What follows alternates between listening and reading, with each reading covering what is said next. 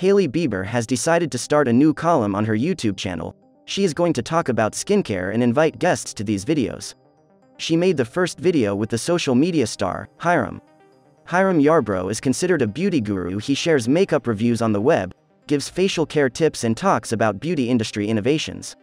Hailey and Hyram tried the Hers cleanser. After using the product, both skin felt a little tight, but it was soft and gentle, that is, the product did its job. Some viewers have accused Hailey Bieber of just advertising cosmetics. She wants to make money using her name. Viewers are sure that the brand paid her a lot of money for the commercial. Viewers openly wrote that they haven't seen the worst commercials and won't watch videos featuring Hailey Bieber anymore. They think that such cosmetics should be advertised by real specialists, not by those who walk on the catwalk. Hailey Bieber doesn't deserve attention, if she wasn't Bieber's wife no one would pay attention to her at all.